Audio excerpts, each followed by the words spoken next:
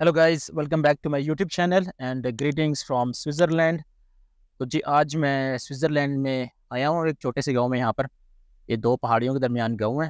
तो चलें जी मिल के गाँव को एक्सप्लोर करते हैं, गाँव की सैर करते हैं। मैं कैमरा रिवर्स करता हूँ, आपको दिखाता हूँ। बड़ा खूबसूरत है वैसे तो। वो जी ग्लेशियर्स आल्प से बर्फ़ पिघल के आ रही है अभी नीचे और यहाँ पर ये दरिया है उस तरफ़ ना, जा रहा है। तो ये गाँव है जी, कुछ हैं इसके अंदर। ज़्यादातर लोगों का यहाँ पर जो बिज़नेस है ना, ये खेती बाड़ी ही है और अक्सर भैंसी वगैरह रखी हुई हैं। पता नहीं आपको आवाज़ आ रही होगी या नहीं बट मैं सुन रहा हूँ जो जानवर है ना, उन्होंने वो आपस में हारन लगाया होता है, वो आवाज़ आ रही है उसकी। तो ये छोटे छोटे गारे कुछ पहाड़ियों पर नज़र आ रहे हैं ऊपर। तो कैमरा रिवर्स करते हैं एंड देखते हैं, गाँव को एक्सप्लोर करते हैं, चलते हैं अंदर। चलें जी, ये गाँव का नाम है है जी उल रायखन। मैं वैसे स्टे कर रहा हूँ, आगे गाँव में इससे दो गाँव आगे, उसका नाम है ओबर वाल्ड। तो ट्रेन पे दस मिनट लगते हैं, दो स्टॉप हैं, ये यहाँ पर इनका ये ट्रेन स्टेशन है। ये है जी गाँव। ये घर बनाए हुए लोगों ने। कुछ लोगों के घर आपने नोट किया होगा, वो ऊपर ना पहाड़ियों में है, वो देखें, इधर भी और वो उस तरफ़ भी। पर भी आपको घर नज़र आ रहे होंगे ऊपर पहाड़ियों में, और वो सामने ऊपर पहाड़ों से ना, वो बर्फ़ पिघल के आ रही है नीचे। तो अच्छा लग रहा है। घर देखें, आपको सारे के सारे ना तकरीबन यूनिक स्टाइल के लग रहे होंगे। लकड़ी लगाई है लोगों ने सारे बाहर। बाहर से ऐसे लगता है कि यार इतने फैंसी मैं जब शुरू में आया तो मैंने देखा, यार ये क्या इतने पुराने पुराने घर हैं। अंदर क्योंकि फिर मैंने स्टे कर रहा हूँ, अंदर तो अंदर से काफ़ी ठीक है मतलब प्रॉपर लेवल फर्निश घर हैं और सही फैंसी हैं। तो बाहर का इन्होंने से एक स्टाइल यूनिक रखना होता है तो इस वजह से इन्होंने ये रखा हुआ है। इनकी जो काउंसिल है वो इनको इजाज़त नहीं देती ऐसे सिंपल घर बना देंगे ना जो तो उनको बाहर लकड़ी लगानी पड़ती है। तो ये किसी ने फ़ार्मिंग की हुई है घर वालों ने। ये वाली स्ट्रीट में जाते हैं, वो स्ट्रीट मुझे काफ़ी अच्छी लगी थी। लोगों ने ना, हमारे यहाँ गाँवों की अगर हम हालत देखें तो ऐसे ऐसे गद्दे होते हैं, यहाँ पर लोगों ने यार अपने एक गाँव को भी इतना रखा हुआ है बना टना के। वो जो ऊपर वाले घर हैं, सड़क की, उस तरफ़ वो काफ़ी खूबसूरत हैं, अच्छे लगे थे।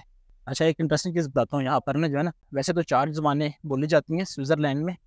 एक है जर्मन, फ्रेंच, इटालियन और रोमांश ये चार ज़बानें बट इनके ना जो जर्मन और फ्रेंच है, इनके अपने वर्जनस हैं। लेट से एक तो जर्मन है ना सिंपल जर्मन। तो इन, इनको कहते हैं ये लोग स्विस जर्मन। बोलते हैं। तो स्विस जर्मन जर्मन है वो, कहते तो जर्मन बोल रहे हैं हम बट ये is quite different from the original German तो जर्मनी के लोग मेरे साथ भी काफ़ी ज़्यादा आए हुए हैं तो उन लोगों को, बेचारों को भी मुश्किल होती है इनकी ज़बान समझने में ना।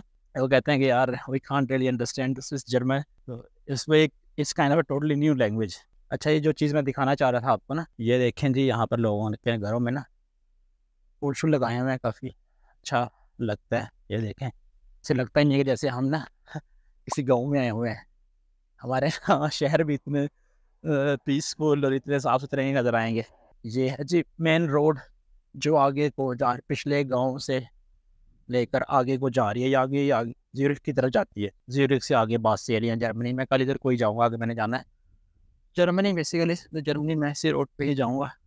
आपको दिखाता हूँ, ये चर्च के साथ एक दो घर थे, वो मुझे काफ़ी अच्छे लगे थे। दिखाते हैं। हेलो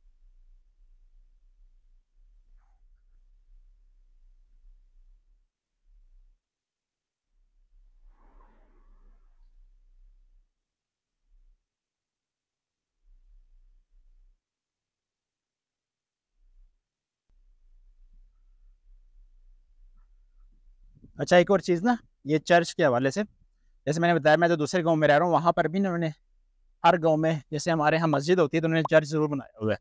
और इनके चर्च मुझे थोड़े से लगे हैं, इनके ओपन चर्च है इस तरह। बाकी कंट्रीज़ में मैं गया हूँ, मुझे ओपन चर्च नहीं नज़र आए, इनके हाँ यहाँ पर ऐसे ओपन चर्च बने होते हैं। दे आर क्वाइट स्टेबल वो भी मशीन कंस्ट्रक्शन कर रही है उस तरह।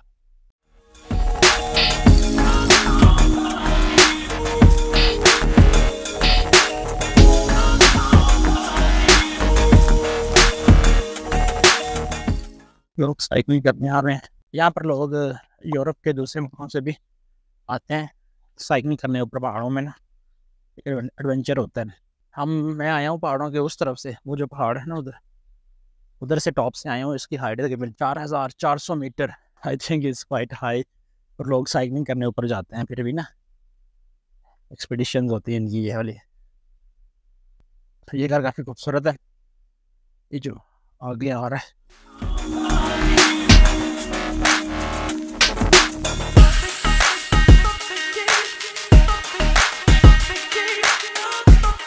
अच्छा हम ना अभी गाँव के ना दूसरी तरफ़ आ गए हैं। पहले हम उस तरफ़ थे तो अभी हम उधर से ये वाली साइड है, ये ट्रेन स्टेशन के इस तरफ़ वाली साइड है, इधर हम आ गए। तो यहाँ जो यूजुअली जो घर है, मैंने देखे नोट किए हैं, वो ज़्यादातर फार्मर्स ने अपने यहाँ वो बनाया हुआ है। जानवर वगैरह जिसके अंदर रखते हैं, फिर चारा वगैरह डालते हैं। तो ज़्यादातर घर जो है ना, वो उस तरह के हैं। ये रास्ता भी ऊपर को जा रहा है, ऊपर पहाड़ियों के अंदर से। ये तो होटल्स वगैरह हैं।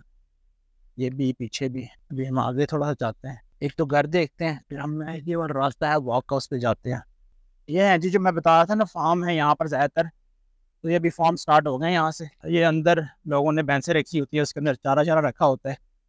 ज़्यादा इन आवाज़ आ रही होगी, देखो गोबर का भी ढेर लगाया हुआ इन्होंने इधर ना। तो ये एक फार्म है जी। फिर इसी तरह सामने वो ट्रैक्टर भी खड़ा नज़र आ रहा है। ये भी एक फार्म है। वो सामने भी है भी सारे आगे फार्म शुरू हो गए हैं। ये पीछे गोबर का ढेर लगाया हुआ है। वो वहाँ पर एक घर है, वो मुझे काफ़ी पसंद है। वो तो चर्च के साथ है। वहाँ मैं कल गया था।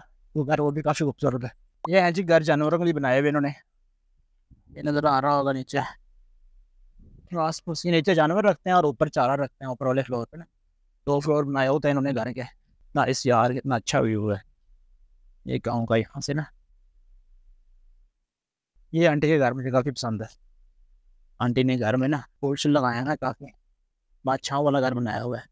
और यहाँ पर है उन्होंने एक्सरसाइज करने के लिए ना ये बार लगाया है कुछ पुलअप्स के लिए।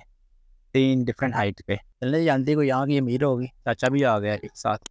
कुत्ता बोलना शुरू हो गया